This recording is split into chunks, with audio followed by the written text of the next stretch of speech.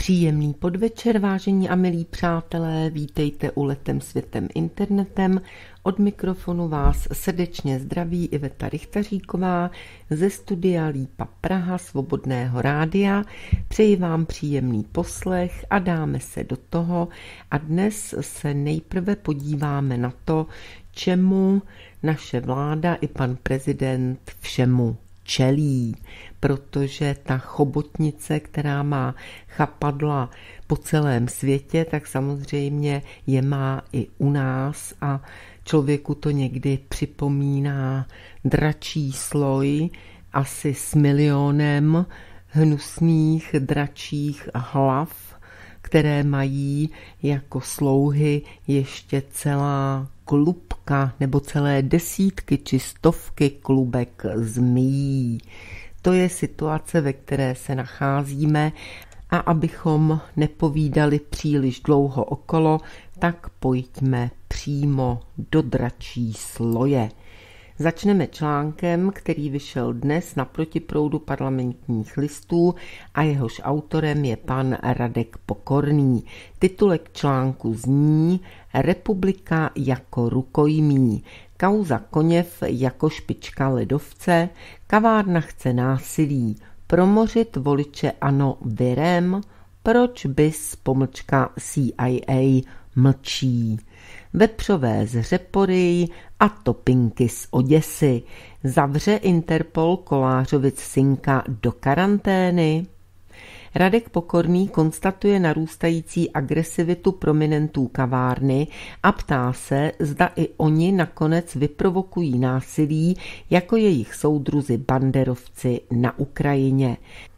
Dá se asi předpokládat, že O něco podobného opozici jde, že se o to snaží neustále a bude snažit, dokud nebudou bažiny vyčištěny na těch nejdůležitějších místech, to jsou především USA a tento proces se postupně nedostane k nám, jinak když už jsme u toho vysoušení bažin, tak samozřejmě nejen USA, ale celý svět, zejména Čína, tam se snad kroky podnikají, o tom my zde mnoho toho nevíme, ale předpokládáme, že ano, určité čistky nebo změny tam už proběhly před několika týdny.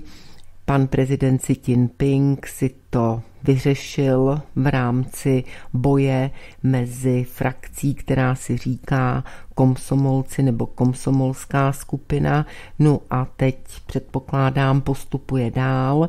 Velmi složitá situace je také v Rusku, ale to odbahnění celého světa samozřejmě bude pokračovat a bude to všechno pokračovat tak dlouho, dokud nebude vyčištěno alespoň do té míry, aby bažinatci či chobotnice a dračí hlavy a zmije už neškodili, aby už k tomu neměli sílu.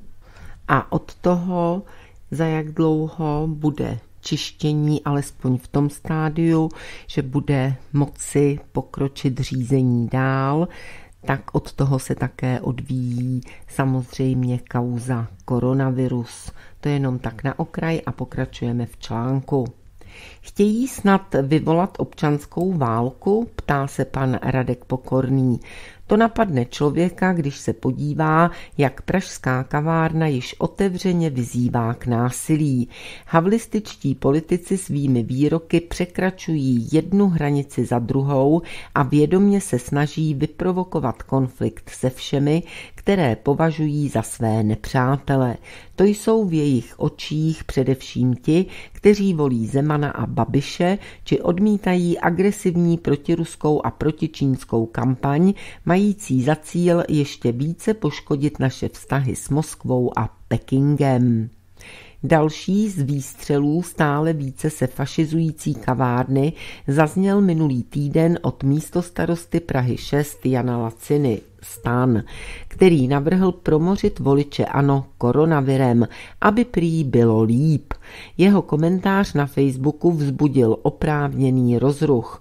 Ujistil mě, že šlo o sarkazmus, Navíc jako reakce na provokativní článek, nebo ne článek, ale začátek celé konverzace, řekl k příspěvku Laciny předseda starostů a nezávislých Vít Rakušan. Nevíte někdo alespoň přibližně, jakou část obyvatel je třeba promořit, umořit a vymořit, aby bylo líp? Zeptal se na Facebooku jeden z uživatelů. Mezi těmi, kdo k příspěvku napsali své vyjádření, byl také místo starosta Prahy 6 Lacina. Něco málo přes 30% uvedl v konverzaci. Podle posledního kantaru 34,5%. Upřesnil později Lacina a narážel tak na volební preference hnutí ANO. Tato pubertální výzva významného politika stanu k fyzické likvidaci voličů ANO je jen další v řadě provokací, ke kterým se stále více zoufalá kavárna za potlesku části svého fanatického publika v poslední době uchyluje. Laťku hrubostí a oplzlostí už minulý rok hluboce snížil pomatený exhibicionista ODS z Řeporií, který vyhrožování smrtí svým politickým oponentům používá jako způsob, jak se zviditelnit, protože normální prací to neumí. Podtitulek Tváře ODS když byl v říjnu minulého roku tento málem místopředseda ODS Pavel Novotný policií obviněn za podněcování k vraždě, kavárenská média, jinak úzkostlivě střežící v uvozovkách poklady a evropské hodnoty politické korektnosti, k tomu podivuhodně mlčela. Nepochybně i proto, že předmětem vyšetřování byl novotného výrok, že by komunistický poslanec Zdeněk Ondráček měl vyset za vlasti zradu, neboť si dovolil cestovat do Doněcké lidové republiky obklíčené kijevskými hrdlořezy. S těmi ovšem naopak novotný sympatizuje, neboť oslavují nacistu Banderu jako národního hrdinu, právě tak, jako je řeporijský český křikloun zamilovaný do nacisty a zrádce Vlasova, jemuž by na místo odstraněného protinacistického hrdiny Koněva rád postavil pomník. To, že se jeden z regionálních politiků ODS momentálně na postu starosty jedné z pražských čtvrtí zblázní, se samozřejmě může stát – Ovšem znepokojivá je podpora, které se tomuto psychicky vyšinutému jedinci dostává z nejvyšších pater ODS, včetně předsedy Petra Fialy. Koresponduje to s nemalým počtem hlasů, které Novotný, kandidát na místo předsedu strany, obdržel na začátku letošního roku na kongresu ODS. Gejzíry dalších nechutných eskapát tohoto kovaného v uvozovkách liberálního demokrata jsou však jen špičkou ledovce vyčnívající do veřejného prostoru z nenávistné liberální stoky. To, že vůbec nejde o náhodné výroky, dokázal také další z regionálních politiků ODS, zastupitel z Jesenice u Prahy Martin Lang, když veřejně vyzval k zabití prezidenta republiky Miloše Zemana. Připomeňme jeho v skutku liberální výrok. Ideálně takovou zrůdu, jako je Zeman, podřezat jako přestárlou svini, vykrvit a potom spálit – napsal obdivovatel v uvozovkách pravdy a lásky. Tehdy se ještě ODS od jeho v uvozovkách pokrokového výroku formálně distancovala. Nad podobnými výzvami soudruha Novotného se už vedení ODS pouze blahoskloně usmívá a označuje je za rostomilé rebelství.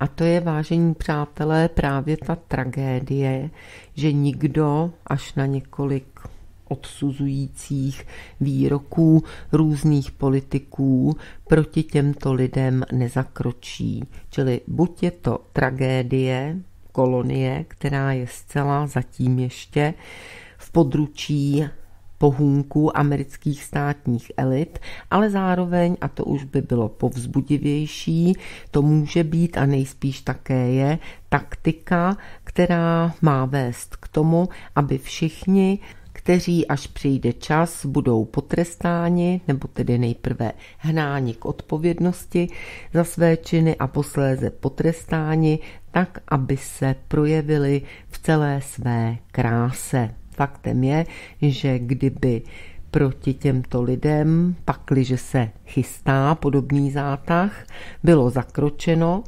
nyní tak by další si dali pozor a bylo by potom možná složitější je dostat tam, kde je potřebujeme mít.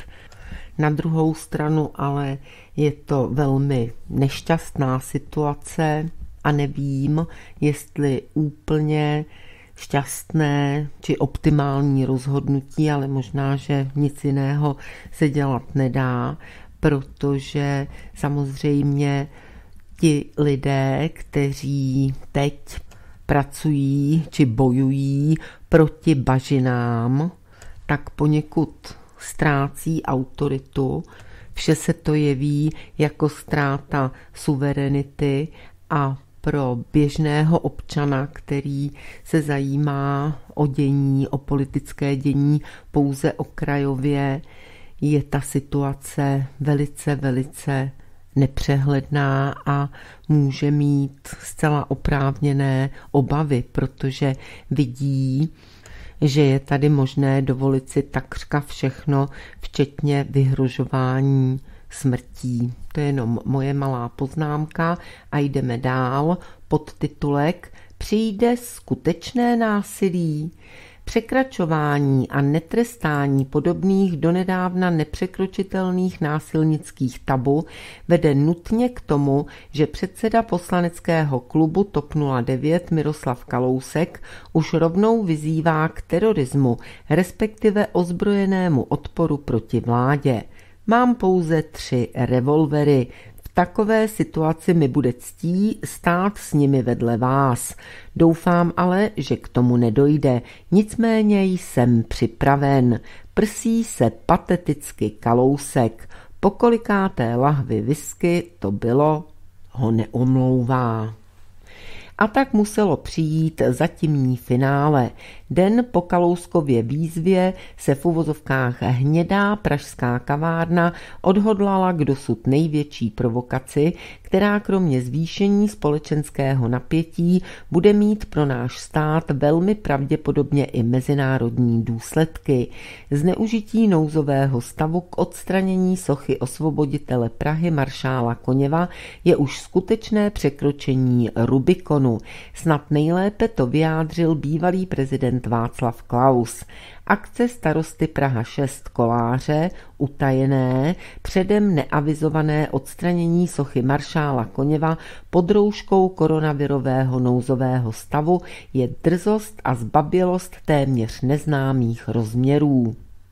Mnozí nad tím zatím jen mávli rukou, jenže vůbec nejde jen o nějaké v uvozovkách přepísknuté výkřiky frustrovaných stále v uvozovkách prohrávajících politiků umírajících stran a straniček postupné snižování v uvozovkách Prahu citlivosti na výzvy k násilí od v uvozovkách majitelů klíčů k většině havlistických médií může v jednu chvíli vést ke změně kvality vybouchnout v násilí skutečné. Je to o to víc zajímavé, že k tomu naše tajné služby BIS soustavně mlčí. Asi má jejich šéf jako první nikoli náhodou vyznamenaný od šéfky CIA příliš práce s vytvářením nových dějepisných osnov pro školy a špiclováním národoveckých uskupení, aby se brzy nedivil. V květnu si totiž připomeneme nejen 75 let od pražského povstání a osvobození Prahy rudoarmějci maršála Koněva, ale také 6 let od největšího poválečného civilního masakru, kterým se ku podivu žádný mezinárodní tribunál nezabýval. Odehrál se 2.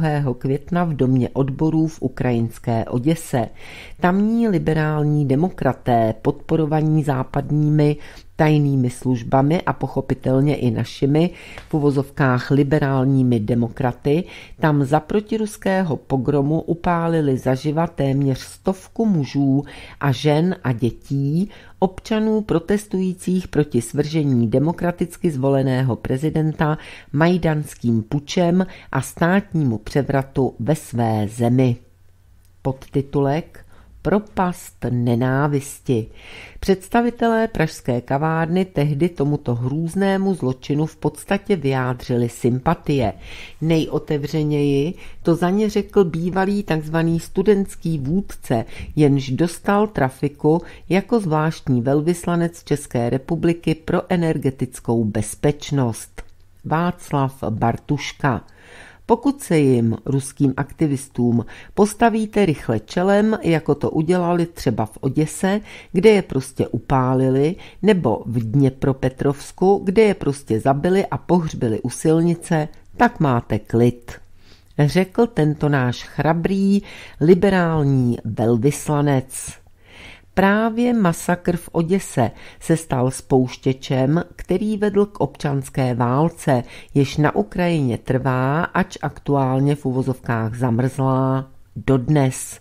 Pučistická kijevská kavárna tehdy reagovala na tento zločin nevýdaných rozměrů, nechutnými, rádoby vtipnými poznámkami o připálených topinkách v Oděse – Právě podobné v uvozovkách vtipné komentáře na sociálních sítích přispěly k rozdělení země hlubokým příkopem nenávisti mezi dvěma slovanskými národy.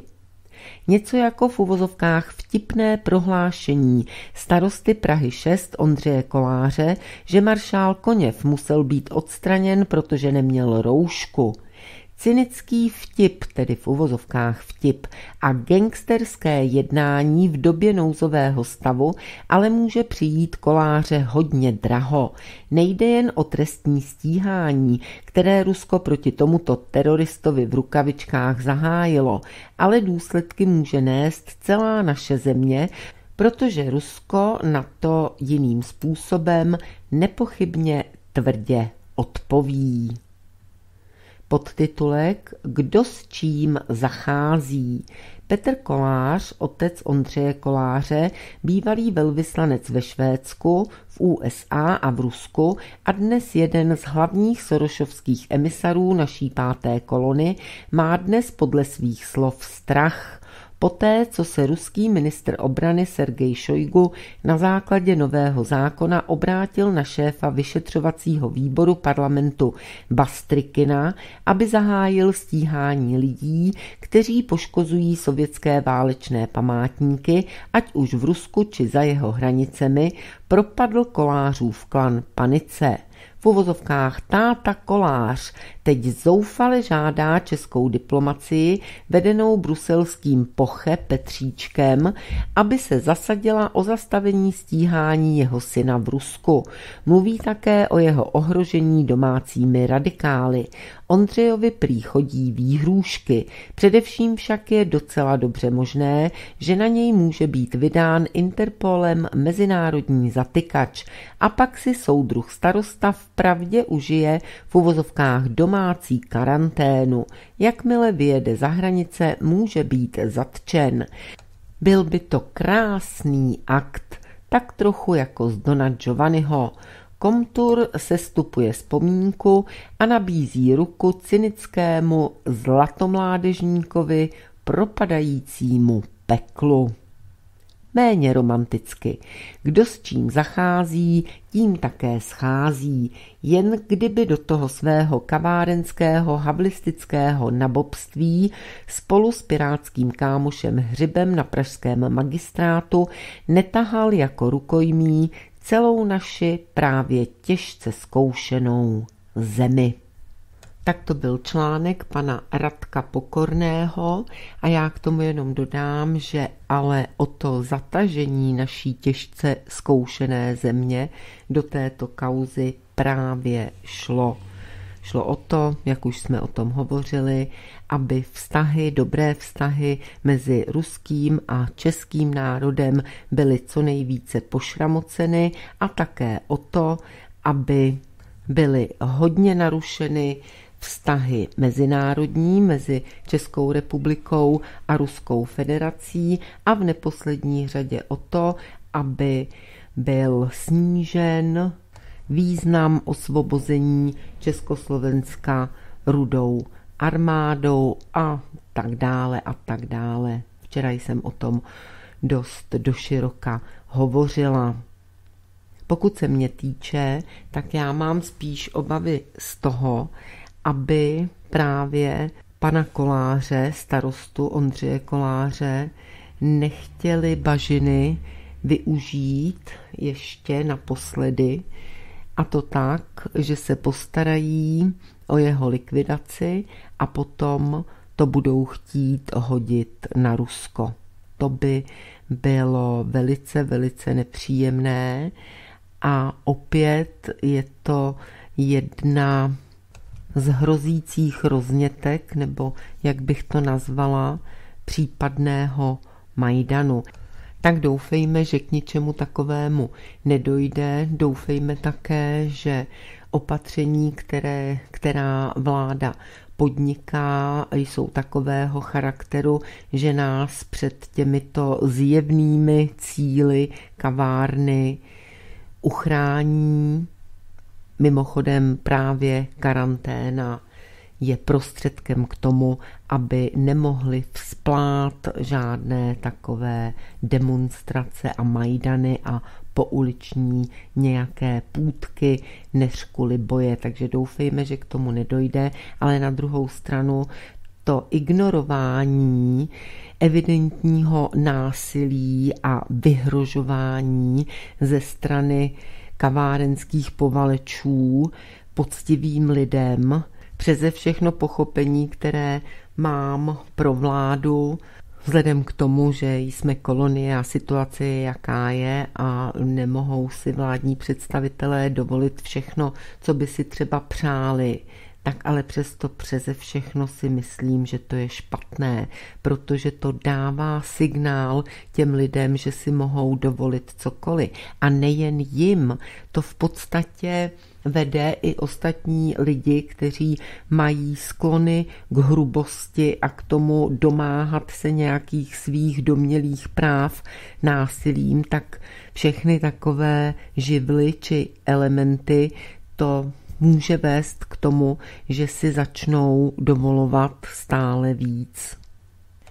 A teď si dáme ještě jeden článek z protiproudu, který napsal nám velmi dobře známý pan Jiří Kobza, ve kterém je velmi dobře schrnuto, jak a kde operují bažiny, jaký dosah a rozsah má chobotnice, draci a zmije a tak dále, to už znáte, takže jdeme na to. Článek vyšel 13. dubna a má titulek Vyslanectví Deep State v Praze. Kdo kavárně vychovává v uvozovkách kádry, školící zájezdy do bažin, prokurátoři, politici, novináři, všechno upekli Bakala s Albrightovou. Zahraniční agenty si tu alespoň neplaťme z našich daní. Jiří Kobza a Tomáš Doležal nahlédli hlouběji do jedné mocné a bohaté americké politické neziskovky, jejíž pražskou pobočkou prošla a procházejí pozoruhodná jména zdejší páté kolony proti českých zájmů. Pavel Kopecký ve svém nedávném vynikajícím textu pro protiprout o potřebě razantně regulovat činnost a financování politických tzv. neziskových organizací se zahraničním napojením zmínil i vlivnou mezinárodní nebo spíše nadnárodní a globalistickou organizaci Aspen Institute a její českou pobočku. O co vlastně v tomto případě jde? The Aspen Institute, což je oficiální název, nebo Aspen Institute po Česku, je mezinárodní v uvozovkách nezisková organizace. Založili v roce 1950 čikékský podnikatel Walter Papek. No přátelé, já nevím, jak to přečíst. Čte se to Paepcké. Takže Papek asi jako Aspen Institute of Humanistic Studies, Aspenský institut humanitních studií. Oficiálně se zaměřuje na podporu v uvozovkách hodnotově orientovaného vedení lidí a otevřeného dialogu o současných globálních problémech. Institut sídlí ve Washingtonu DC a má školící centra v Aspenu ve státě Colorado a na Y River v Marylandu. Jeho prezidentem a výkonným ředitelem je Walter Isaacson, v minulosti mimo jiné šéf-redaktor časopisu Time a ředitel televize CNN. Ve správní radě institutu zasedají například Medlin Albrightová, Kondolíza Rajsová nebo Javier Solana. Podtitulek Chapadla. Aspen Institut je z velké části financován nejrůznějšími americkými nadacemi, jako jsou Carnegie Corporation, The Rockefeller Brothers Fund a Fordovy nadace.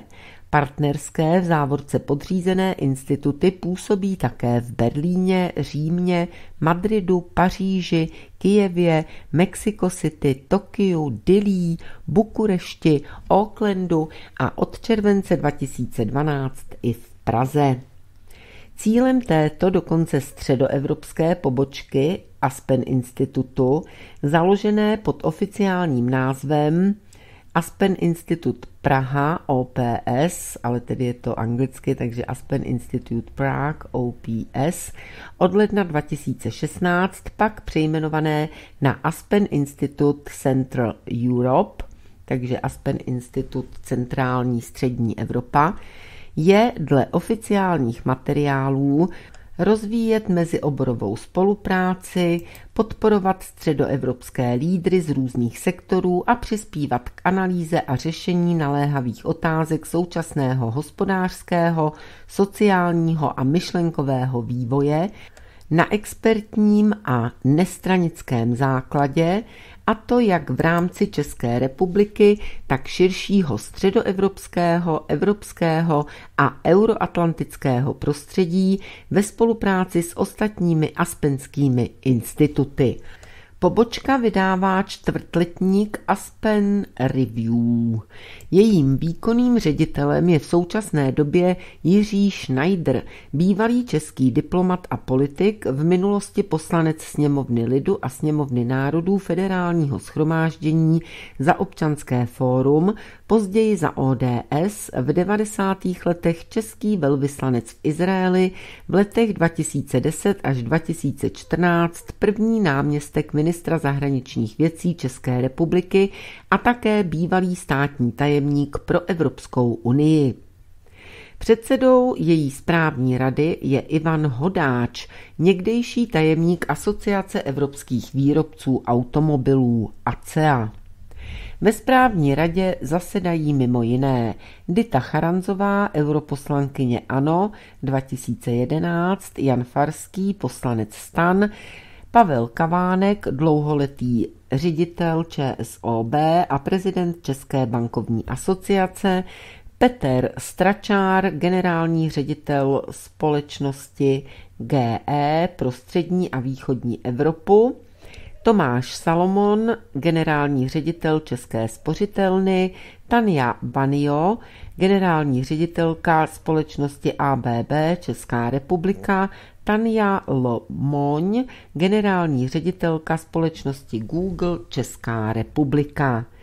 Jedná se o v uvozovkách think tank úzce propojený s americkou vládní administrativou a establishmentem bez ohledu na to, zda pochází z lůna demokratické či republikánské strany, označovanými jako americký Deep State, o organizaci, která zcela naplňuje definici v uvozovkách zahraničního agenta ve smyslu například maďarské, izraelské, americké, ale i ruské legislativní úpravy činnosti nestátních politických neziskových organizací. Podtitulek Internacionalizovat zemi – Otevření středoevropské pobočky v Praze bylo do rozhodující míry výsledkem aktivity Medlin Albrightové, stále české čestné funkcionářky vedení institutu a v reálné praxi byl hlavním iniciátorem a financiérem jejího vzniku Zdeněk Bakala, historicky nejbohatší český krejčí, legendární privatizér OKD a hornických bytů, dříve též člen orgánů institutu, jeho dozorčí rady a dodnes fakticky rozhodující hybatel jeho české afiliace.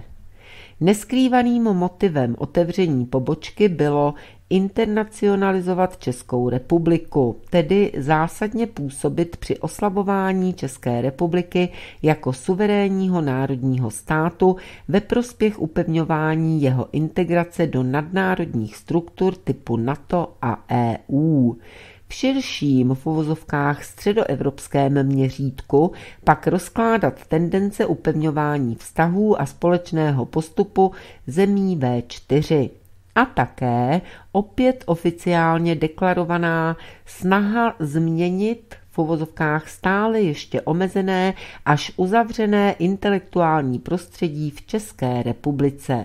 Chceme být institucí, která by ráda internacionalizovala náš region, protože když se světu skutečně neotevřeme, jen těžko uspějeme.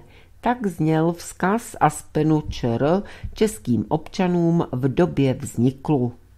Klíčovým rysem nejen českého AI, čili Aspen Institutu, je také jeho propojení na nadnárodní globální biznis, reprezentované i významným zastoupením reprezentantů nadnárodních korporací v jeho vedení. I z toho je jasné, kam až jeho prsty sahají a jaké politické a ekonomické zájmy prosazuje.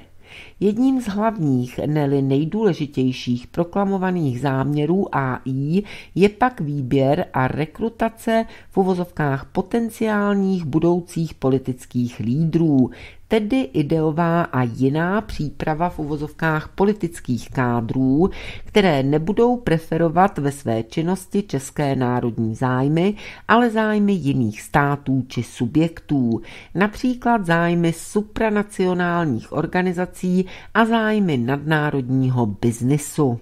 Podtitulek Kádry – pokud se podíváme na další personální obsazení české filiálky AI historicky, nalezneme zde další staré známé.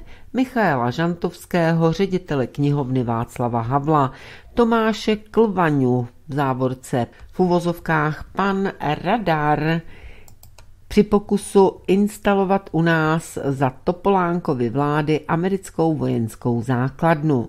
Dále Vladimíra Dlouhého, poradce Goldman Sachs pro střední Evropu, Jana Hamáčka, současného šéfa ČSSD a ministra vnitra, Zdeňka Tůmu, ex-guvernéra České národní banky, Jana Zahradila, závorce v uvozovkách věčného europoslance za ODS poradním sboru Českého AI figurovali i další vyznavači nadnárodního politického řízení a v uvozovkách podvolení České republiky cizím zájmům. Jacques Rupnik, Petr Pidhart, dále též v uvozovkách prověření novináři Martin Šimečka, Jan Macháček, Adam Černý či Martin L. Pražský Aspen organizuje též projekt Aspen Young Leaders Program, čili to je program pro mladé lídry Aspenu, což je v podstatě školící a rekrutační v uvozovkách kurz pro výběr budoucích politických a mediálních kádrů. Oficiálně má jít o interaktivní workshopy, diskuze, které mají vést ke sdílení osobních zkušeností nad celospolečenskými hodnotami, tedy tady není nad celo, ale jenom nad společenskými hodnotami, které jsou zásadní pro dnešní společnost a které mají formulovat nezbytné kvality a schopnosti současného lídra. Ukázka ze školení programu v roce 2018. Účastníci si během víkendu poslechli řadu inspirativních osobních příběhů, například od generálního ředitele České spořitelny Tomáše Salamona, který nabídl svůj pohled na to, co to znamená být dobrým lídrem, nebo od generála Petra Pavla o jeho cestě na pozici předsedy vojenského výboru NATO a o leadershipu v armádě. Prosím, přátelé, leadership v armádě, no to je tedy něco. Zakladatel Mezinárodního festivalu dokumentárních filmů věnovaných problematice lidských práv Jeden svět, Igor Blaževič, si pro účastníky připravil workshop zaměřený na dilemata, kterým humanitární pracovníci a organizace musí čelit při podpoře lidských práv po celém světě. Absolventy tohoto programu jsou mimo jiné Adam Vojtěch, ministr zdravotnictví za ANO 2011, Aleš Michl, člen bankovní rady ČNB, Andrea Procházková, novinářka z Bakalova Respektu, Emma Smetana, novinářka z Bakalovy DVTV, Vít Rakušan, předseda stan, Jan Farský, poslanec stan, Jiří Mádl, aktivistický herec a režisér, mimo jiné protagonista někdejší nechutné předvolební kampaně Přemluv bábu. Lukáš Kovanda, mediální ekonom, Markéta Pekarová Adamová, předsedkyně TOP 09. A kdo třeba přednáší na výročních konferencích Aspen Institute Central Europe? Bob Cartous v závorce Eduin, lobistická společnost snažící se zcela změnit systém českého školství, podpora inkluze a tak dále. Ivan Gabal, Josef Středula, šéf největší odborové centrály ČMKOS neboli ČMKOS. Jiří Fajt, ex-ředitel Národní galerie, generál Petr Pavel, Vladimír Dlouhý, Jana Maláčová, Jan Lipavský, poslanec za Pirátskou stranu, Robert Plaga, minister školství za ANO 2011, Aleš Chmelař, náměstek ministra zahraničí, dříve státní tajemník pro EU. A jinak je to ČSSD. Podtitulek Mladí lídři.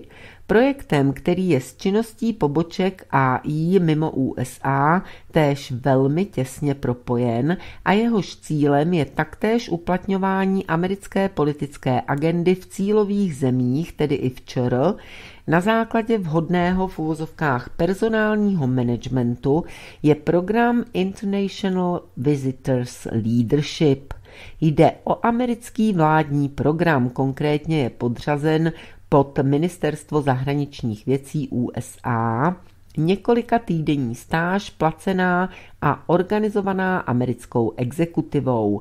Jde v podstatě o projekt exekutivy USA na získání v uvozovkách klientů z řad často mladých, respektive budoucích zahraničních politiků. U nás jde vesměs o lidi předem vytipované velvyslanectvím USA v České republice, kteří již předtím prošli například výše zmíněným školícím programem české pobočky Aspen Institutu pro v uvozovkách mladé lídry.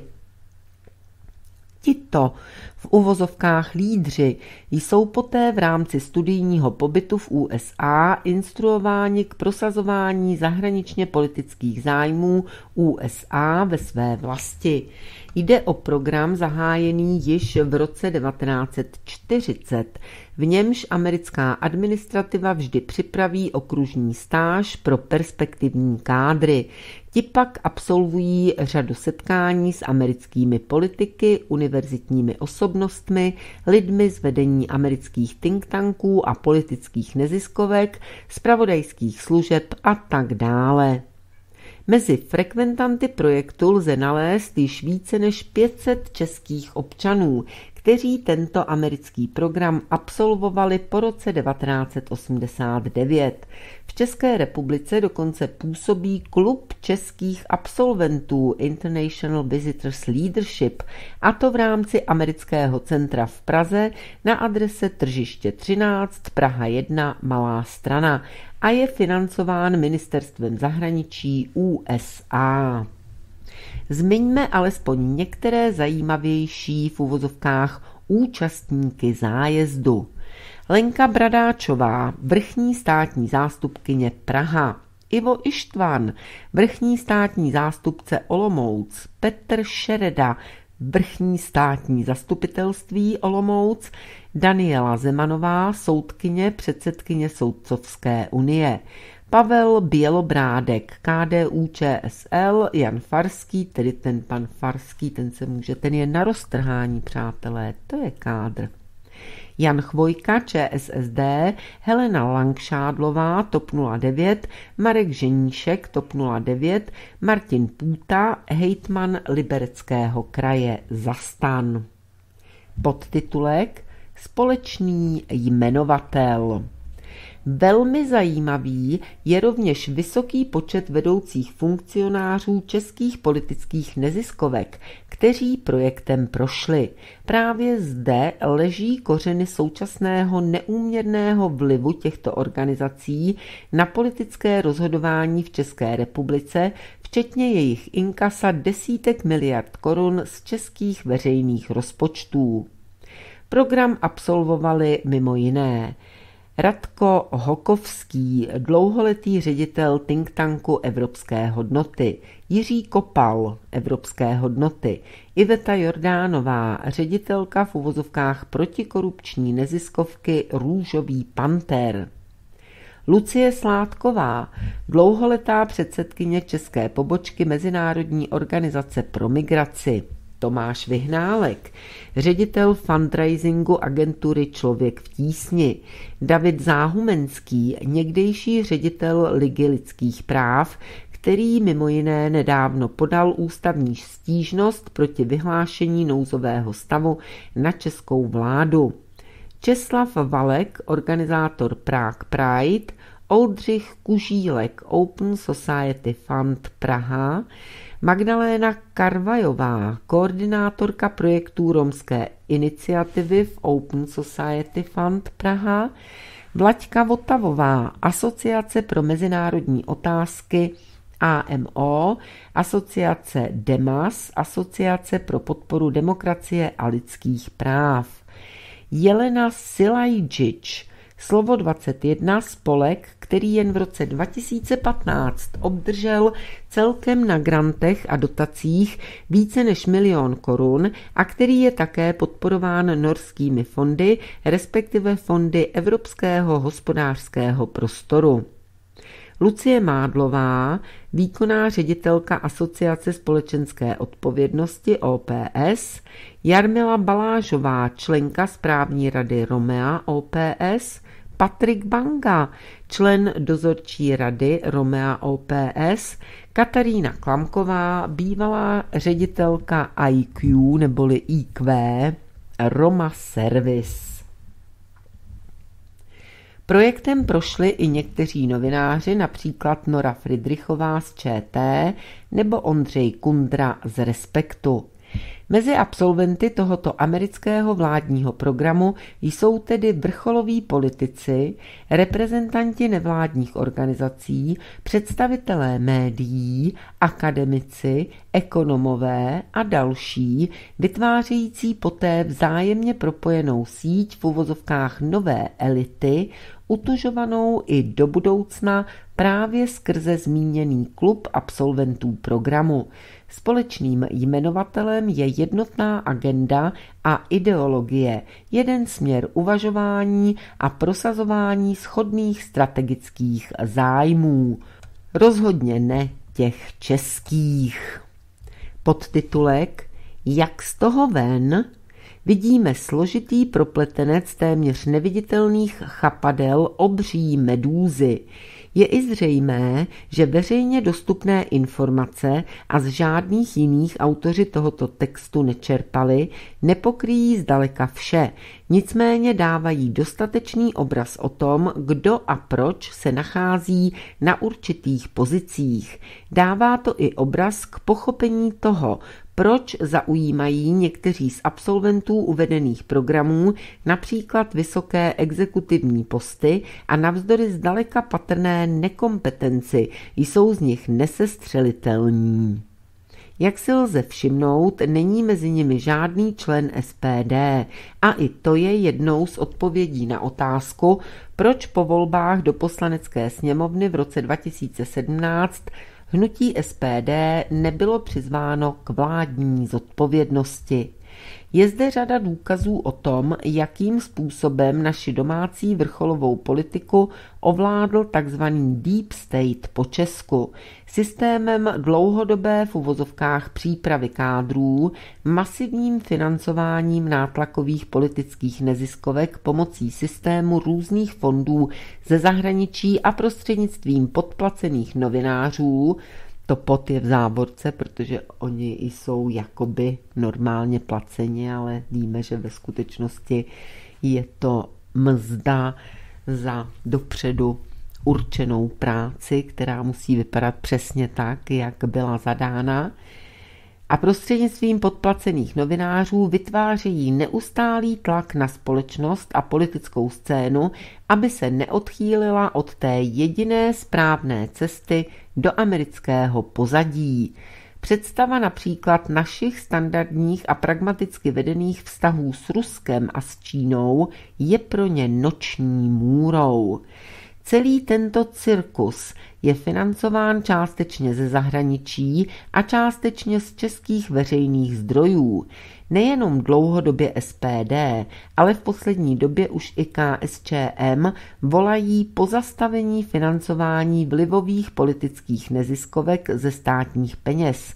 Je totiž jasné, že demokratické struktury plánům těch, kteří řídí absolventy všech výše uvedených uvozovkách kurzů, nevyhovují. Snaží se je infiltrovat a ovládnout, anebo alespoň ovlivnit. Jsou to v pravdě zahraniční agenti. Je jasné, že ani případná stopka státního financování této chobotnice její podvratné aktivity zcela nezastaví. Zahraniční fondy jsou natolik silné a jejich zájmy natolik velké, že takový výpadek časem nahradí. To, co potřebujeme, je komplexní obdoba amerického zákona FARA o financování neziskovek ze zahraničí a o povinnosti deklarovat se jako zahraniční agenti. Dočkáme se, když mezi těmi, kdo o tom budou spolu rozhodovat, jsou právě oni? Ptá se pan Jiří Kobza v závěru článku. Tak já si myslím, že se dočkáme, ale zřejmě až tehdy, když budou bažiny poraženy anebo alespoň umravněny v těch státech, kde teď probíhají hlavní boje. To jsou především Spojené státy americké, Čína, Rusko.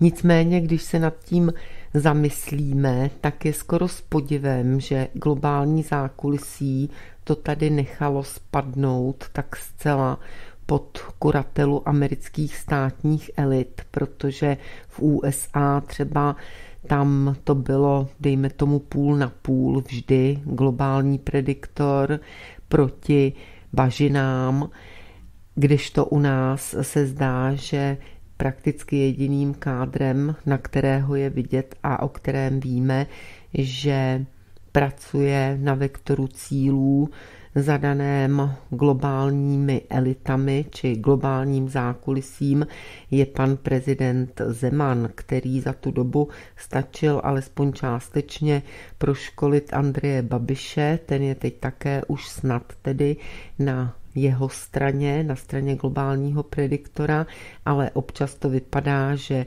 ještě solidně lavíruje a hlavně jeho strana, respektive jeho hnutí ANO 2011 vypadá spíš tak, že tam je víc kádrů, které slouží právě americkým bažinám. Takže je s podivem, že tady to nechali dojít tak daleko, že je to doslova a do písmene promořené pohůnky amerických státních elit a zřejmě i proto se můžeme těžko dočkat nějakých alespoň měkkých či kosmetických, nebo jak to nazvat, kroků proti těmto strukturám.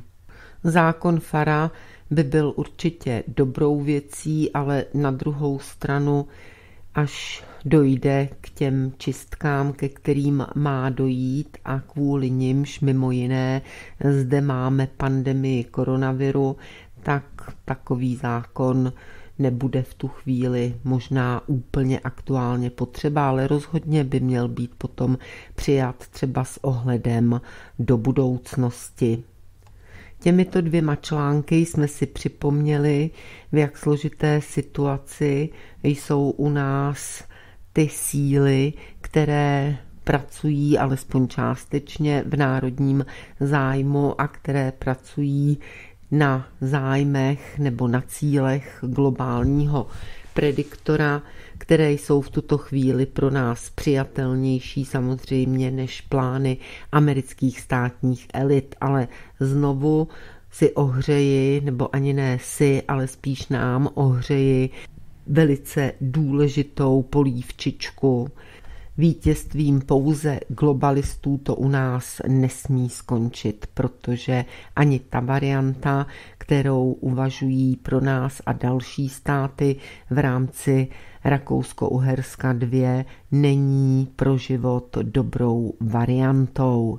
Teď se podíváme na trochu jiné problémy, které samozřejmě souvisí s těmi ostatními. Dnes na Nové republice vyšel článek od Ivana Davida s titulkem Turecko prodloužilo vojenskou službu a vojáci odesílají migranty na pobřeží. Turecku je v plném proudu příprava námořní invaze migrantů do Řecka.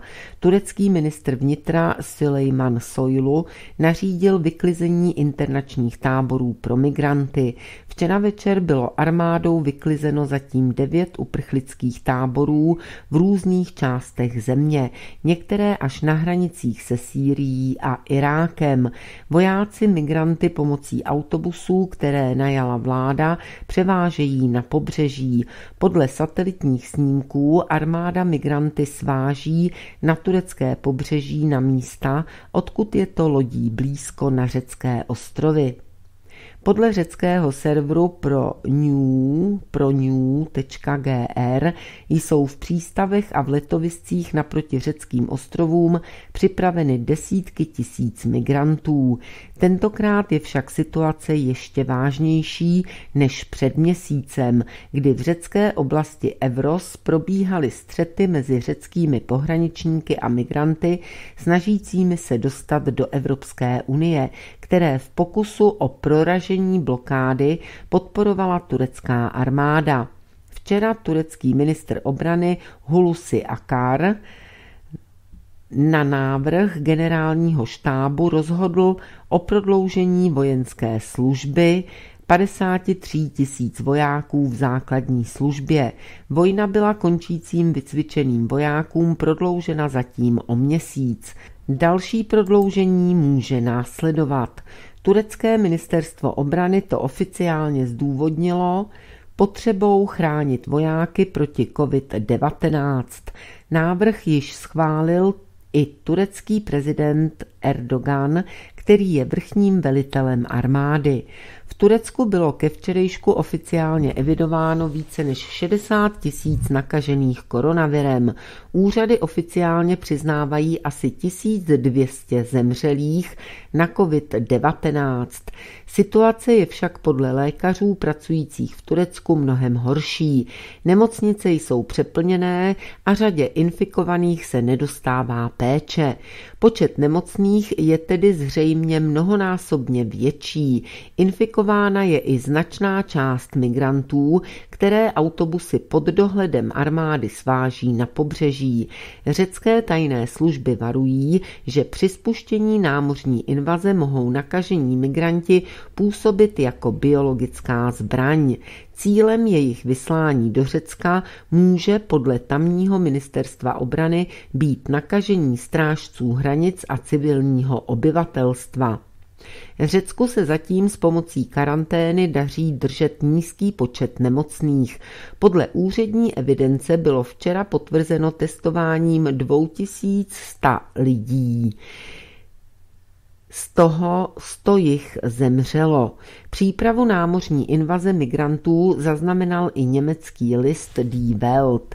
Alfred Hackenberger ve svém článku dospěl k závěru, že Erdogan chce z Evropské unie vydírat ještě více peněz. Připomíná, že EU mu sazbu migračního výpalného letos již jednou zvýšila při březnovém pokusu o protlačení migrantů do Řecka pozemní cestou. Před měsícem dostalo Turecko přidáno 1,3 miliardy eur. V článku Erdogan posílá tisíce migrantů opět do EU, Die Welt připomíná hrozbu tureckého ministra vnitra Silejmana Soylu, který po vyklizení pozic před řeckou řekou Evros pohrozil. Až skončí epidemie korony, nezabráníme migrantům v návratu na turecko-řeckou hranici. Epidemie zdaleka není u konce, ale zdá se, že ministr vnitra už svou hrozbu nyní provádí. Autobusy převáží migranty ke středozemnímu moři, aby se mohli přeplavit na jeden z řeckých ostrovů. Turecko se nyní snaží vyvíjet tlak na EU na této nové trase, konstatuje Die Welt. I podle německého zpravodaje z místa je tento postup s ohledem na koronavirovou krizi vysoce nebezpečný. Řekové jsou si nebezpečí dobře vědomi. V neděli Řecko posílilo lodě pobřežní stráže dalšími plavidly vojenského námořnictva. K pobřeží Turecka byla vyslána velká část vojenských lodí. Zatím se jim daří vracet zpět do Turecka všechny čluny, které se vypravily k řeckým ostrovům. Řekové je odmítají vpouštět do svých pobřežních vod s odůvodněním koronavirové krize. Všichni námořníci však vědí, že tohle je teprve začátek. Něco jako průzkum. Tak to je velice složitá situace, která je hodně nebezpečná, ale nemá jenom samé záporné konotace. Je jasné, že Erdogan neustále vydírá a bude vydírat Evropu a kromě toho chce získat kontrolu nad částí řeckého území.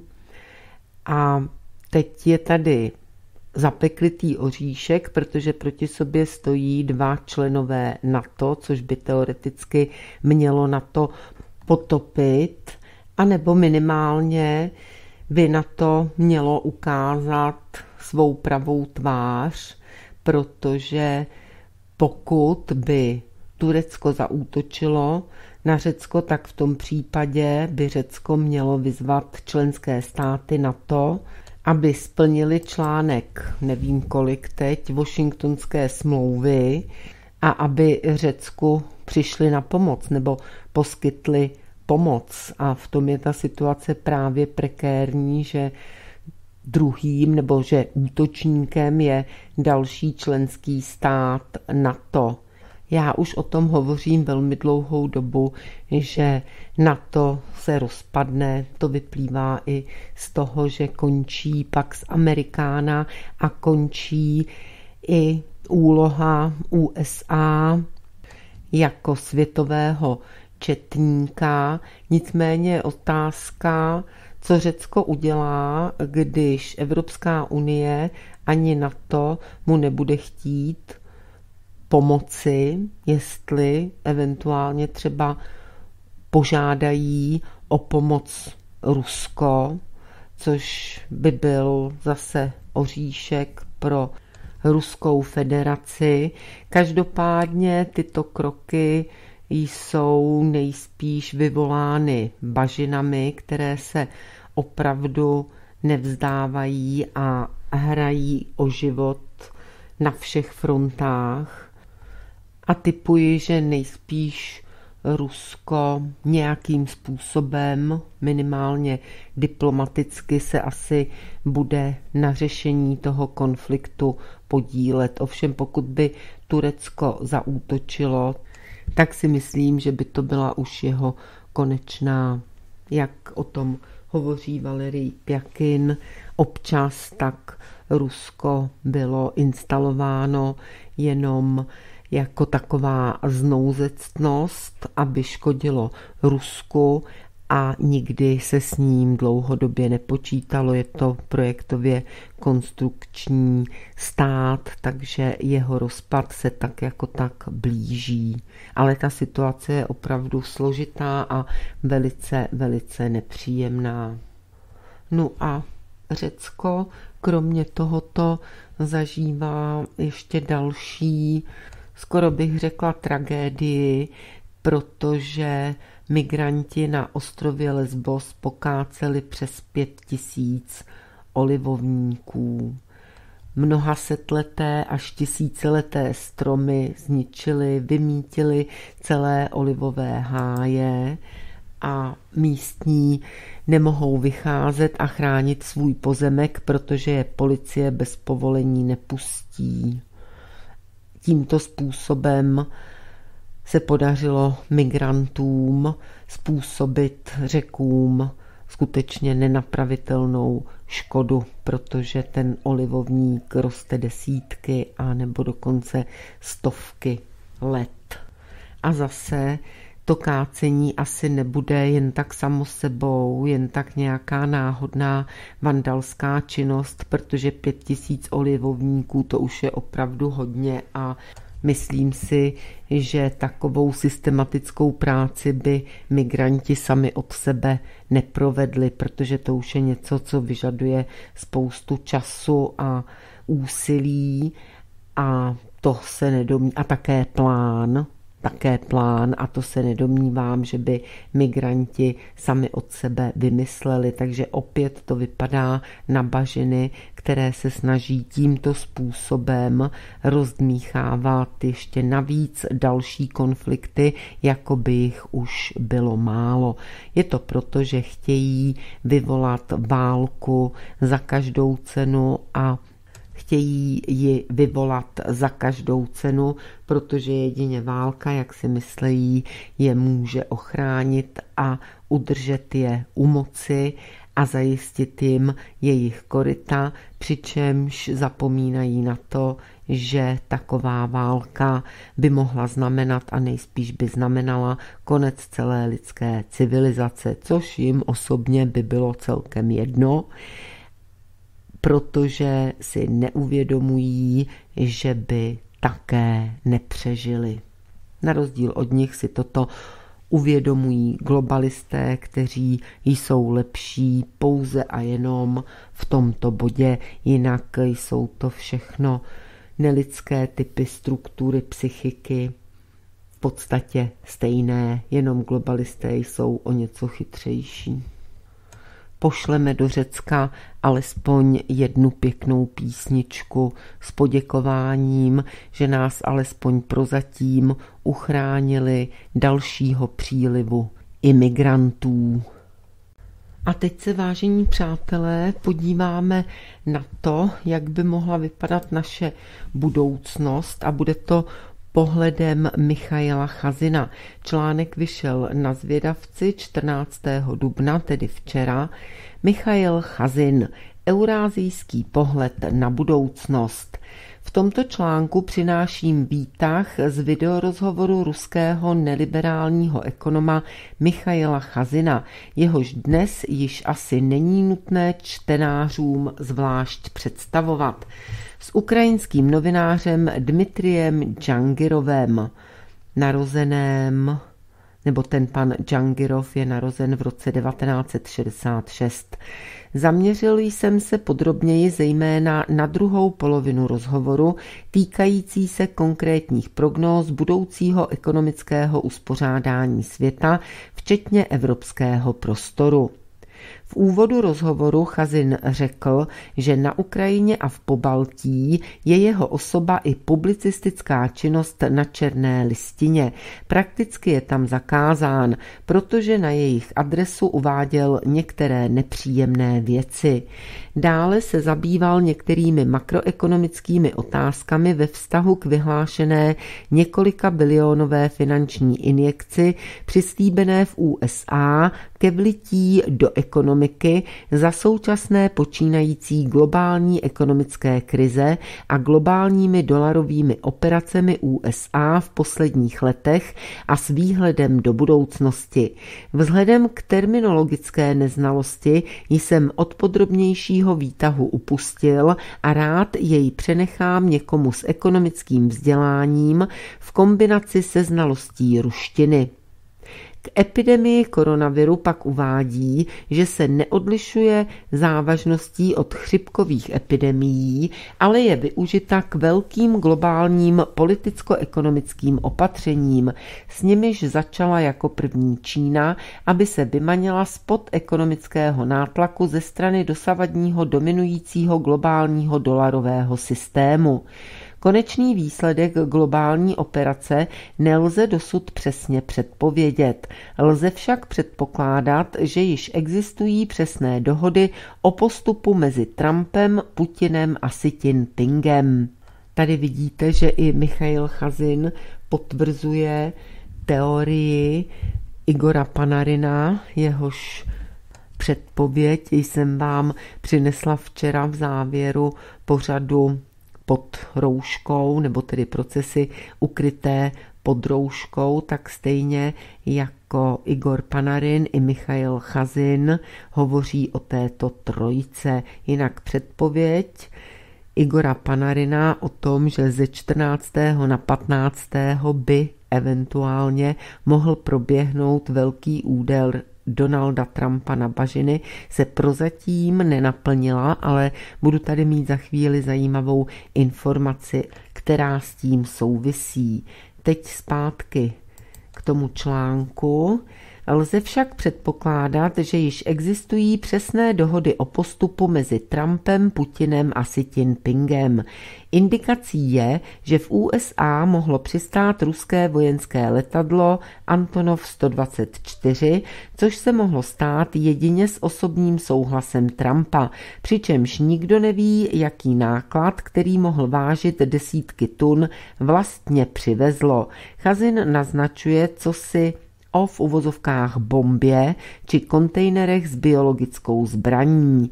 Poznámka překladatele v jednom z posledních pořadů otázek a odpovědí VV Pjakina tento řekl, že byla po tři dny uzavřena síť ruské pošty, protože FSB hledala různé zásilky, prostřednictvím nichž mohl být proveden biologický útok na Rusko ze zahraničí na pozadí epidemie koronaviru. Na dotaz Džangirova, zda může Trump dostat jako v uvozovkách předvolební dárek Venezuelu, Chazin odpovídá, že je to složitá otázka, na níž nelze s jistotou říct, jak to dopadne.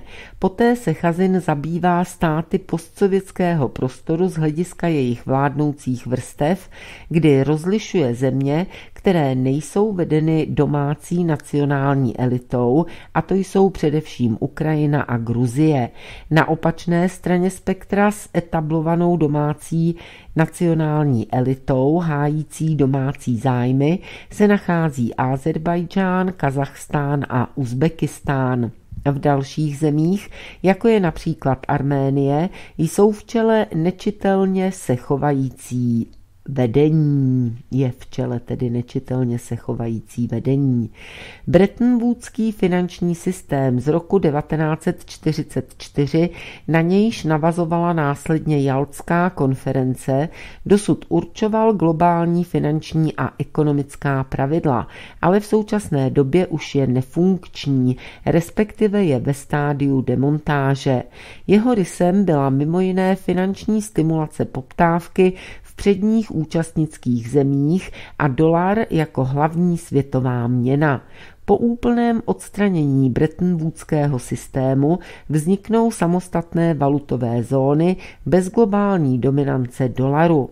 Bude to zóna juanu, rupie, euroazijská zóna, v níž hlavní měnu může, ale také nemusí představovat rubl, Může zůstat též eurozóna, ale její zachování a rozsah jsou vzhledem k mnoha nevyřešeným otázkám v současné době podmíněné.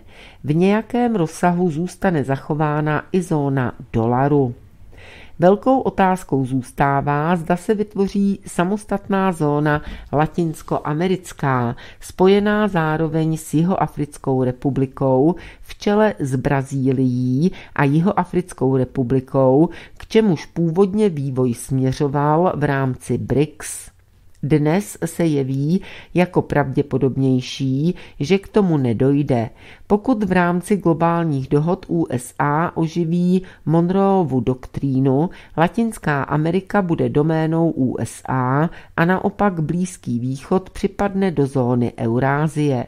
Dohoda Trumpa s Putinem může být taková.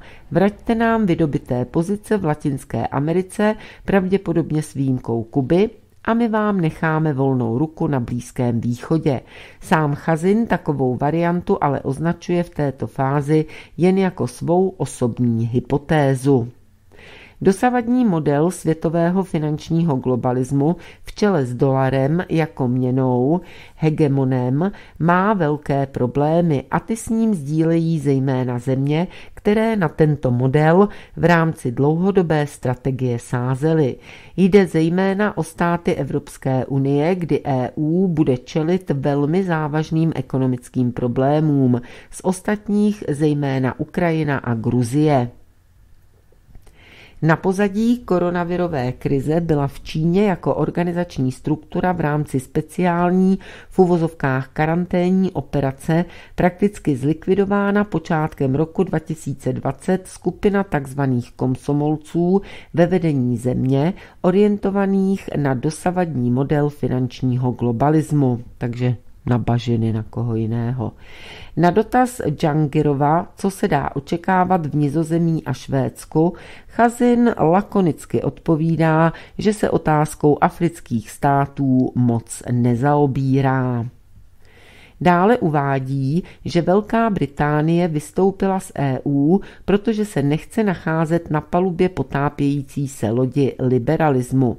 Kanada v dané situaci není subjektem událostí a není představitelné, že by se mohla vydělit ze zóny ovládané USA. Premiér Trudeau, orientovaný na americké demokraty a speciálně na rodinu Clintonovu, následně odejde sám nebo bude odstraněn pod nátlakem. Afrika bude v nejbližší době zónou volného lovu, předmětem toho, co si kdo vezme. Jihoafrická republika bez Brazílie nebude schopná dál působit jako subjekt.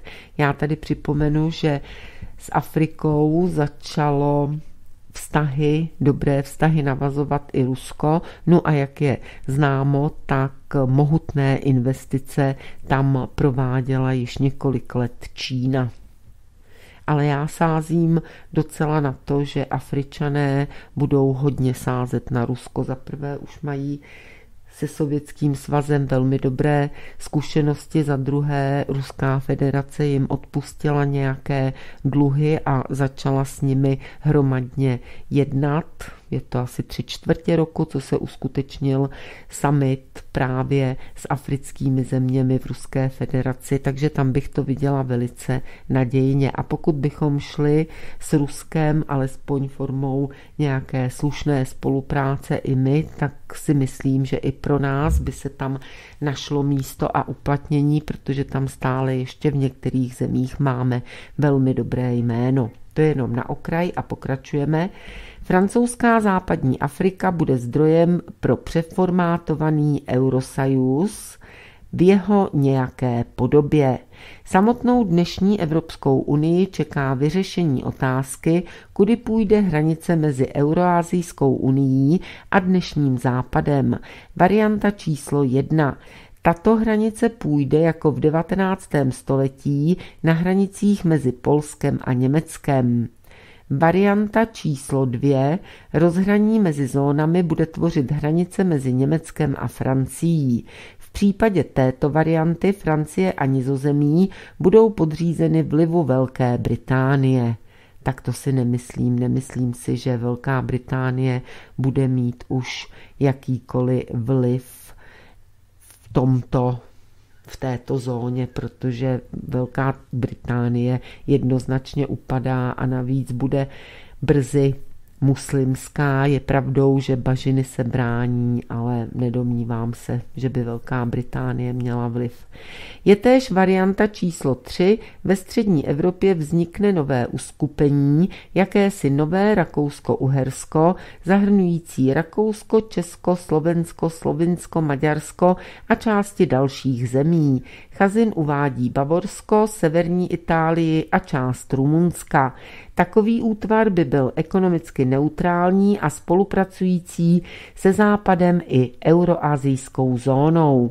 V případě této varianty by západ, sever a východ Německa byl začleněn do euroazijské zóny.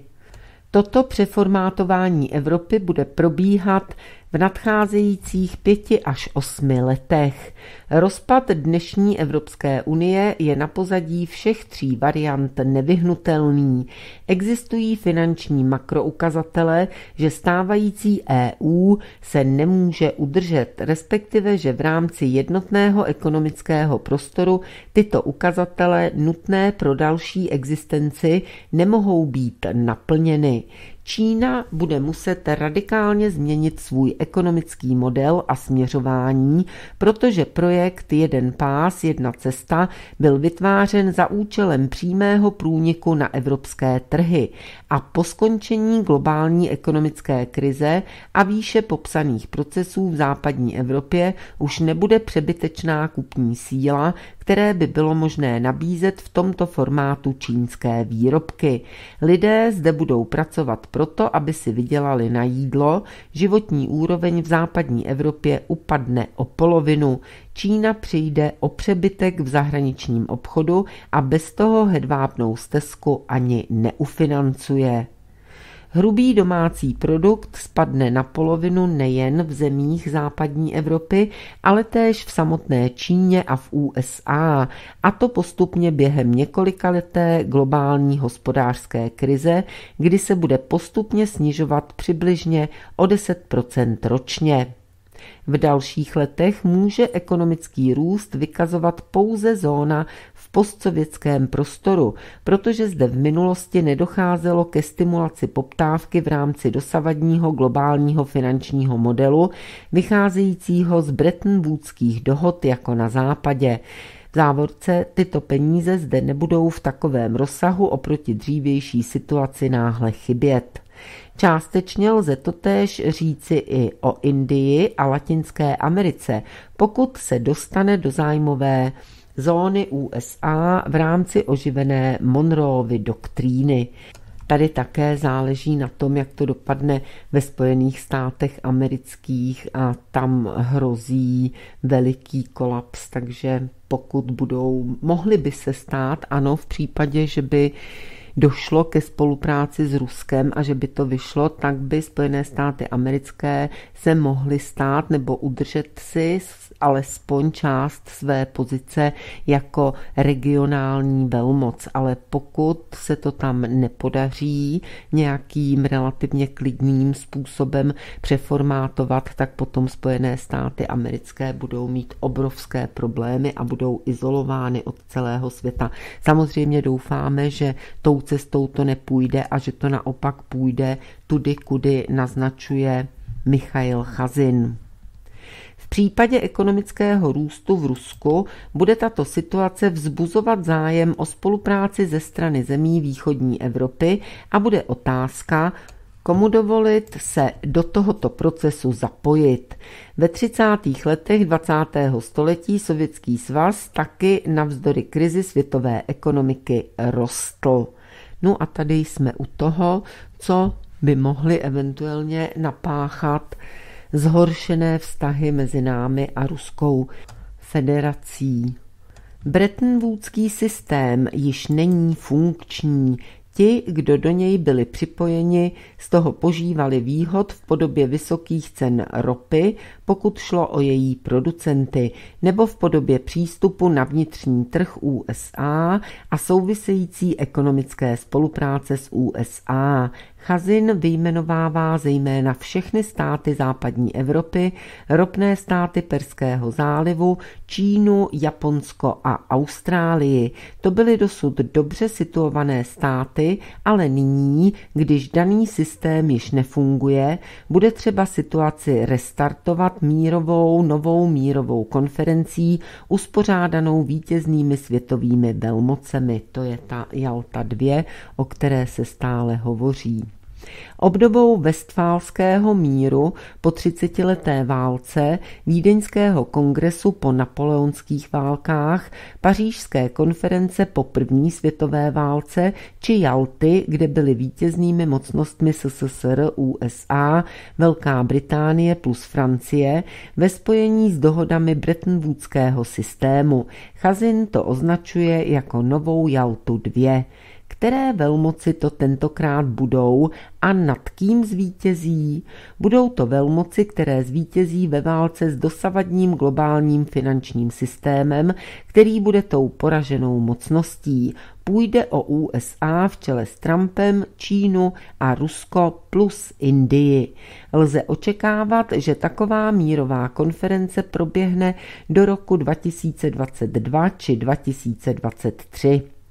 Možná budou nalezeni i obětní beránci z řad států, které zašly v podmínkách dosavadního liberálního modelu příliš daleko a namísto toho vytvořili korupční totalitární systémy. Žhavými kandidáty jsou Ukrajina, Polsko a pobaltské státy. Tak to byly úvahy pana Michaila Chazina o tom, co se bude dít v nejbližších pěti až deseti letech a také v souvislosti s koronavirem, který má mimo jiné přikrýt celosvětovou ekonomickou krizi a také změnu geopolitického uspořádání. Já jsem vám slíbila zároveň, že Mám pro vás zprávu ohledně Spojených států amerických a toho případného úderu Donalda Trumpa na bažiny, tak prozatím nevím nic o tom, že by proběhlo nějaké zatýkání, ale zajímavé je, a tato zpráva se objevila na serveru armádnýmagazín.sk, zajímavé je, že Instagram Billa Gatese zaplavili lidé, kteří volali po jeho zatčení za zločiny proti lidskosti. Plán byla Gatese zachránit svět v uvozovkách zavedením potenciálně povinné vakcíny proti koronaviru a naznačujíc, že nikomu nebude dovoleno obnovit normální život bez v uvozovkách digitálního osvědčení, aby se dokázalo, že byl proočkovaný, se ukazuje jako velmi nepopulární pro uživatele internetu. Lidé na Instagramu se bouří proti Billu Gatesovi a trestají jeho příspěvky tisícovkami nahněvaných komentářů, kde mu říkají, aby přestal experimentovat se zdravím v uvozovkách menších lidí nebo by měl být obviněn ze zločinů proti lidskosti. Peníze vám nedávají žádná práva vůči lidem. Musíte být obviněn z trestných činů proti lidskosti. Těším se na sledování tvého procesu. Mohu prosím vidět vaši lékařskou licenci? Mnoho uživatelů se též vyjádřilo ke skutečnosti, že Bill Gates ze své stránky odstraňuje proud kritických komentářů. Hodně štěstí při odstraňování komentářů Billy Boy budou neustále přicházet a přicházet a přicházet, trochu jako ty počítačové viry, které jste tak velmi miloval. Také Robert Fitzgerald Kennedy Jr. na svém Instagramu uzemnil zakladatele Microsoftu nad jeho plány v uvozovkách diktátorské kontroly nad globální politikou v oblasti zdraví a mesiářským přesvědčením, že je vysvěcený nebo že je svatý, asi nebo něco takového, aby zachránil svou svět svou technologií, nebo aby zachránil svět technologií tak. Robert F. Kennedy Jr. je synovcem zavražděného J. F. Kennedyho v roce 1963 35. prezidenta Spojených států. Působí jako předseda a hlavní právní poradce Společnosti na ochranu zdraví dětí a je silným kritikem dětských očkování. Vakcíny jsou pro Billa Gatese strategickou filantropií, která živí mnohé jeho podniky souvisící s očkováním, včetně ambicí společnosti Microsoft ovládat globální podnik s identifikačními údaji o vakcíně a dává mu diktátorskou kontrolu nad globální politikou v oblasti zdraví. To je vrchol korporátního neoimperialismu. No, já bych to nazvala neofašismem spíš, nebo rovnou fašismem. Gatesova posedlost vakcínami se zdá být podporovaná mesiářským přesvědčením, že je předurčený k záchraně světa technologií a božskou ochotou experimentovat se životy menších lidí.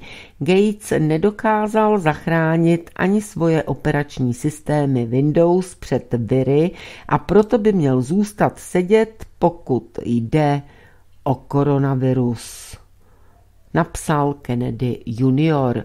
Spoluzakladatel Microsoftu počátkem měsíce prohlásil, že nadace Billa a Melindy Gatesových vybuduje sedm nových center zaměřených na identifikaci, hodnocení, vývoj a rozšíření léčby koronaviru. Jak informuje portál Good News Network, nový projekt, který je financovaný i londýnskou charitativní organizací Wellcome a společností Mastercard, sehraje významnou úlohu při zrychlení celého procesu vývoje proformulovaných léků asi preformulovaných léků a biologických látek určených k léčbě nakažených pacientů koronavirem, ale i jinými virovými patogeny v dlouhodobém horizontu. Nadace Gates Foundation a Wellcome přispívají každá ve výši 50 milionů dolarů ze 100 milionů, které se nadace zavázala použít na pomoc v boji s koronavirem. Zatímco Impact Fund Mastercard se zavázal k pomoci 25 miliony dolarů. No to určitě jen pro naše dobro, že? to jim tak budeme věřit. Poslední odstavec toho článku.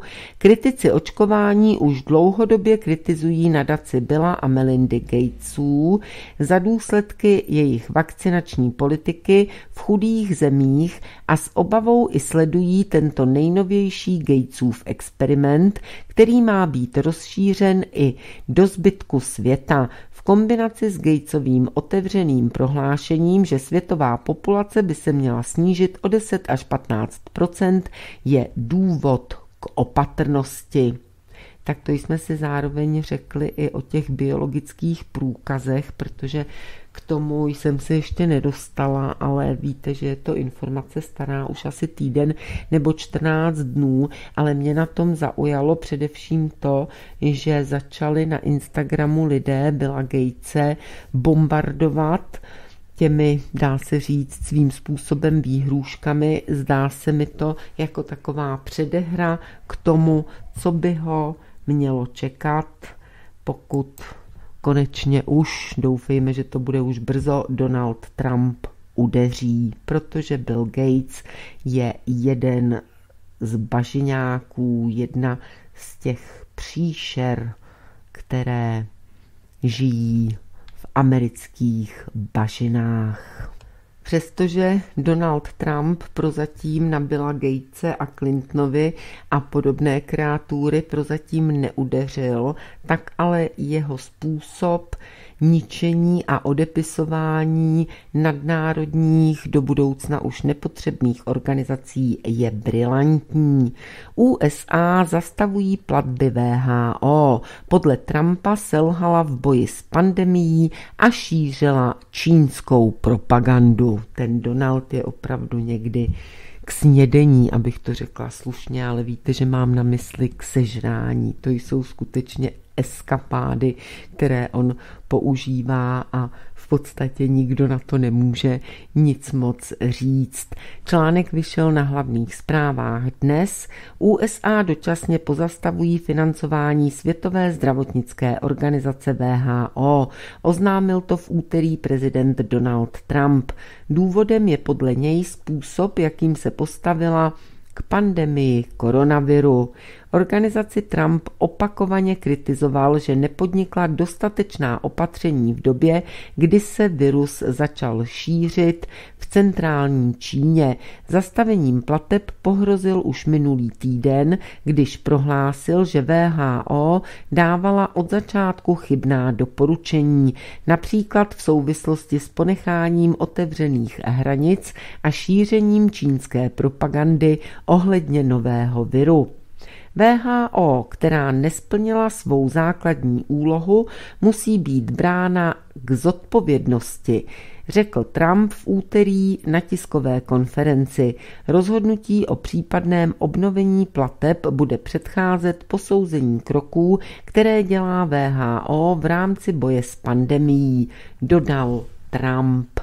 Takže ty procesy Sice bychom byli rádi, kdyby probíhaly ještě rychleji, ale zase nemůžeme být naivní a je jasné, že to nějakou dobu bude trvat a samozřejmě, že všichni se těšíme z toho, že alespoň někteří zločinci na světě, kteří tak dlouhou dobu škodili, budou potrestáni.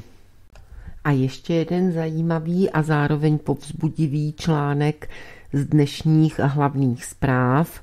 Americká média v nadnárodní vlastnické struktuře útočí už proti vlastní zemi.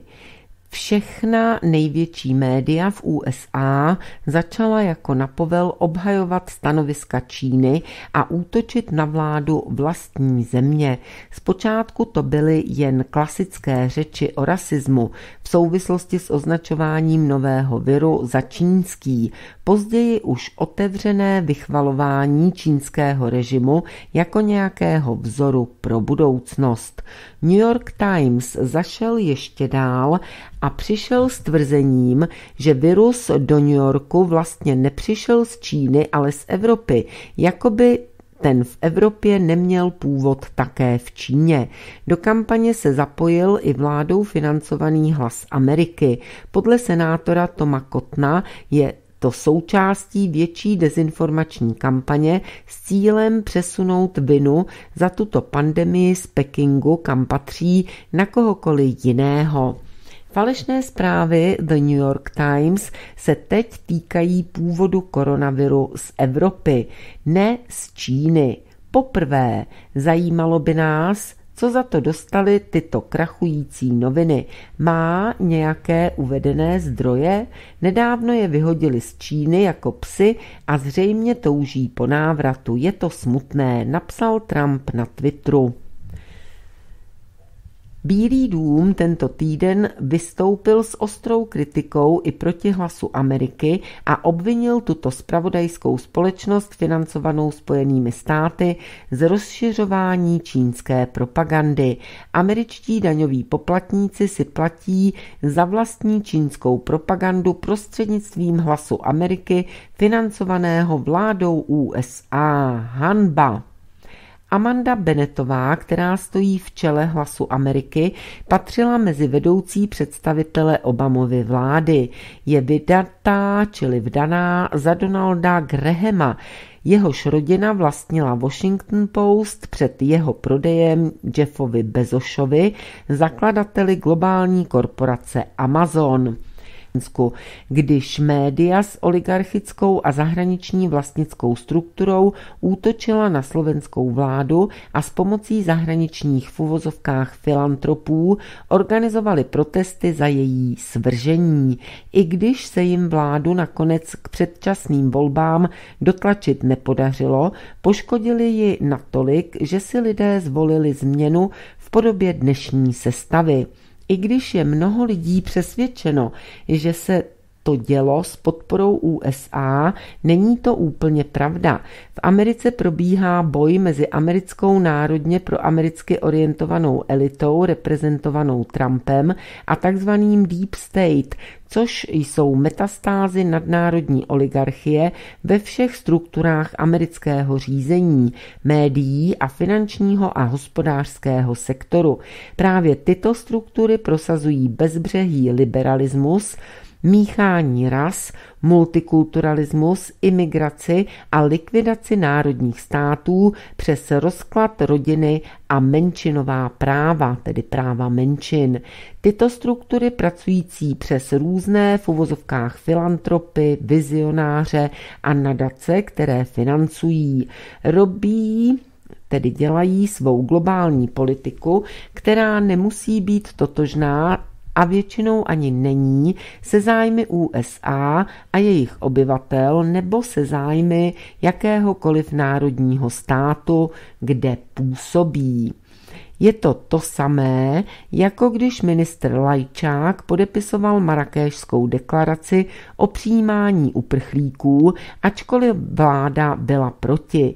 Také nezastupoval zájmy Slovenska, ale zájmy nadnárodních sil, ačkoliv byl ministrem Slovenské republiky.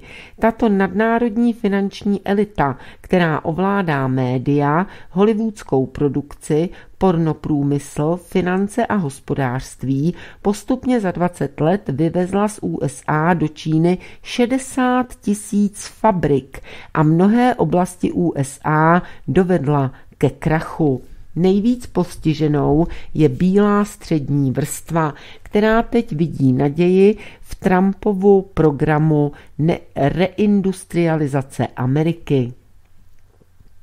Toto směřování potvrdil i senátor Tom Cotton pro Fox News, když uvedl, že nejdůležitějším krokem bude ukončení závislosti na dovozu spotřebního zboží z Číny a znovu vybudování výrobních kapacit doma, což znamená vybudovat na novo prvovýrobu a dodavatelské řetězce. To nastartuje obrovskou konjunkturu v USA i v Británii, která po vystoupení z Evropské unie nastoupila tu samou cestu. No to tedy nevím, na tu Británii jsem opravdu zvědavá, uvidíme, ale myslím si, že naopak ta se ještě také bude různě kouskovat a nakonec z toho zbyde Malobritánie, něco jako Anglie a to ještě ke všemu bude muslimská. Na druhé straně to působí propad výroby v Číně, kterou jako svou základnu momentálně využívá nadnárodní kapitál a nadnárodní korporace. Čína si bude muset tento propad kompenzovat jinde. Hlavní obětí globalismu se tak stane Evropská unie. Různé hedvábné stezky mají zakonzervovat stav, aby státy neměly vlastní soběstačná hospodářství, ale to už není pravda. Ale ještě to dočteme, autorem je pan Ivan Blaho, ale byly jen články globálního řetězce výroby, na který jejich vlády nebudou mít žádný vliv. Tento scénář si navíc vyžaduje co nejvíce oslabit národní státy, například tím, že budou naveženi, naveženy miliony migrantů, což vedení Evropské unie důsledně plní. Tak článek zajímavý a i pravdivý až na ten závěr. Do budoucna jistě globalisté zase obnoví plán v tom smyslu, aby národní státy neměly žádnou suverenitu a byly závislé na těch, kteří je řídí ale v tuto chvíli se budou ekonomiky obnovovat a zejména zemědělství se bude obnovovat na bázi právě národních států. Co potom bude v budoucnosti, to je věc druhá, ale nyní přijde ekonomická krize, bude se měnit celá struktura hospodářství v mnoha zemích a proto v tuto chvíli, vzhledem k tomu, jak se ta situace vyvinula, tak budou na nějakou dobu národní státy do jisté míry posilovány. I u nás už se mluví opatrně o znárodňování, tedy ve smyslu skoupení některých podniků. Konkrétně ministrině Schillerová hovořila o Smartwings a Totéž už jsme slyšeli z Francie a z Německa i od jinut, takže to je mimo jiné také potvrzení toho, co říkám, že ta ekonomika se bude stabilizovat tímto způsobem a přes národní státy, což ale neznamená, že zároveň nebudou globalisté škodit tím, že budou sice lehce zakonzervovány, ale přitom stále do nějaké míry živeny ty procesy, které měly původně v plánu a to bylo zaplavení západní Evropy migranty. Dále proces, který probíhá přesně tak, jak to předpověděl Valery Pjakin, je Čína, kde odkud odchází Renault, Valery Pjakin hovořil o tom, že ty malé v uvozovkách podniky jako z hlediska Číny malé, že buď bude Čína kupovat, bude v nich kupovat buď účast, nebo je koupí, anebo ty podniky odejdou ze země, takže k tomu také dochází, čili je vidět, že ty procesy jdou tak jak plus minus autobus, tak jak bylo plánováno, ale vedle toho zuří ten boj tak, jak jsme o tom už hovořili. A protože druhá část našeho letem světem byla věnovaná víceméně takovým úvahám a prognózám toho, co bude, co by mohlo být, tak si dovolím předložit ještě jednu takovou úvahu. Je sice už z roku 2017, ale je velice zajímavá. Článek najdete na serveru Levanetu, autorem článku je Oracle 911. Titulek článku Návrat k biogenní energii a to poslouchejte opravdu velmi dobře, vážení a milí přátelé, protože s největší pravděpodobností nějaká kombinace různých cest bude zvolena a rozhodně to, o čem pán v tomto článku píše, bude hrát roli, minimálně alespoň něco z toho. Dlouhodobí návštěvníci těchto stránek vědí, že globální prediktor chce snížit spotřebu obyvatel západu, obzvlášť Spojených států amerických, z důvodu hrozící biosférické katastrofy. Projektů je mnoho, mezi ním jsou i úplně zcestné, nebo mezi nimi jsou i úplně zcestné jako depopulace nebo islamizace Evropy. Co je v plánech globálního prediktora? Podle vnitřního prediktora SSSR původně plán GP do Evropy se mělo nastěhovat dostatečné množství muslimů z Afriky a Blízkého východu a tak spustit etnogenezi, která měla vyústit v založení chalífátu, který by byl pod palcem Iránu.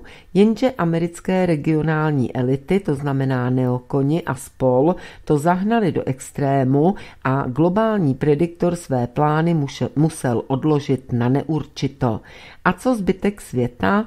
Pro Spojené státy americké se chystá poměrně krvavá pěrestrojka. Já tedy osobně doufám, že krvavá nebude buď vůbec, anebo velmi málo a zdá se, že Donald Trump opravdu dělá, co umí a dělá to dobře a připomenu, že ten článek je starý skoro tři roky po které by se měl končit, by se měly, Spojené státy by měly skončit jako ekonomická kolonie Číny. A zbytek světa by se měl na vlastní oči přesvědčit o nefunkčnosti současné interpretace v uvozovkách amerického snu. V podstatě by takto mělo skončit, měla skončit ideologická podpora orgií spotřeby. Co se týká Ruska, proto byl v plánu rozpad a následná obnova SSSR 2, ale tentokrát skutečně podle marxistické ideologie, jenže VP SSSR uveřejnil koncepci sociální bezpečnosti, která nastartovala změny v Rusku a následně po celém světě. Čeho chce globální prediktor dosáhnout? Cílem globálního prediktora je hospodářský systém, který byl v minulosti viditelný u koloniálních mocností nebo v koloniálních mocnostech jako Holandsko, jenže v modernizované verzi modernizované s ohledem na zemědělství a na použité technologie.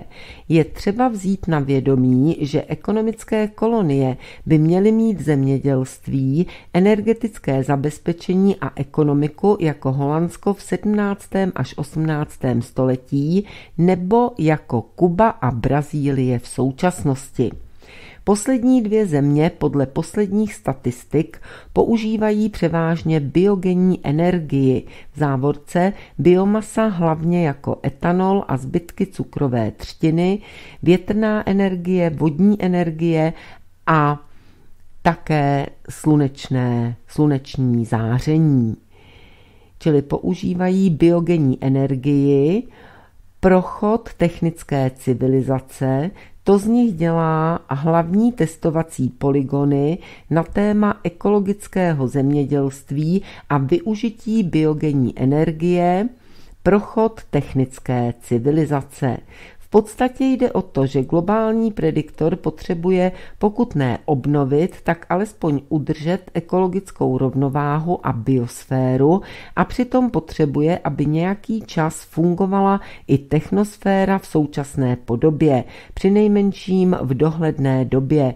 Například odstavené klasické atomové elektrárny budou dost dlouhou dobu hrozbou a kubánské poznatky chce globální prediktor zužitkovat a proto došlo ke zlepšení vztahů s USA, má na mysli Kubu. To ale také znamená, že dojde ke snížení míry využití technologií, ke zjednodušování výroby a snižování její náročnosti na základě staré technologie, jako jsou větrné mlýny, přenos mechanické energie, například kabely, návrat lanovek, hydraulické stanice, stacionární bicykly jako pohon strojů a továrny poháněné solárními kolektory. Tady je řada odkazů, vlastně ty jednotlivé druhy energie, když zmiňuji, tak je tady vždy odkaz, můžete si tam kliknout a podívat se na zdroj, kde jsou tyto otázky podrobněji rozebrány, ale v angličtině. Ostatně na západě polemika na téma udržitelnosti technické civilizace na základě biogenní energie už probíhá nějakou dobu, asi tak 30 let. A v této věci náš region dobíhá západ, jak na to upozorňuje tato česká studie. V češtině opět je zde odkaz. Přitom nejen příklad Kuby a Brazílie, ale i historická fakta ukazují na to, že se to při omezení spotřeby dá udělat. Jsou tu hlavně tři historické precedenci. Město Cincinnati v USA na konci 19. a na začátku 20. století používalo alkohol na osvětlení. Denně se použilo asi 305 tun kukuřice na výrobu alkoholu, přičemž do alkoholu ke svícení se přidával terpentín z jehličnatých stromů, aby se zvýšila jeho svítivost. Fordův model v uvozovkách A a T byly na duální palivo, benzín, etanol a na začátku Velké vlastenecké války Němci používali etanol kvašené, kvašený ze zemjaků, tedy z brambor, od německých farmářů, přičemž dostali zpátky suchý zbytek, který používali převážně jako hnojivo a Japonci postupovali podobně jako Němci při zásobování paliva své válečné mašinérie. Ostatní Rostlinné oleje a alkohol byly prvními palivy do aut s motorem s vnitřním spalováním. Přitom benzín a nafta zanáší sa zemi motory s vnitřním spalováním a jejich hoření má za následek i to, že cirka dvě třetiny chemické energie se nevyužijí k pohybu, ale na ohřev věcí. V tomto ohledu etanol je lepší, sice má jen do 66% energetického obsahu benzínu, ale má oktanové číslo 105, což znamená, že motor je chladnější a projede stejnou vzdálenost jako s benzínem, pokud se správně nastaví kompresní poměr. A tady se větví možnosti. V Brazílii se prosazují převážně centralizovaná a intenzivní řešení, která jsou devastační pro ekosystémy, hlavně kvůli odlesňování. A v Kubě se prosazují převážně malá, decentralizovaná řešení kvůli činnosti teď už nebohého Ramona Castra Ruza, bratra Fidela Castra. Přičemž v případech obou zemí cukrovar spolu s rafinérií nejen poskytuje cukr, etanol, ale i přebytek elektrické energie. Věci nasvědčují tomu, že globální prediktor preferuje řešení z Kuby s podporou rodinných farem a zachování lesů z toho důvodu, že mnoho výrobních cyklů se uzavřelo na lokální úrovni. Tak vážení a milí přátelé a více už toho z tohoto článku nepřečteme, dočtu vám to zítra, alespoň můžete se těšit a být zvědaví na to, co bude ještě následovat. Já vám nyní již děkuji za pozornost, přeji krásný večer a předávám vysílání do studia Beta. Hezký večer.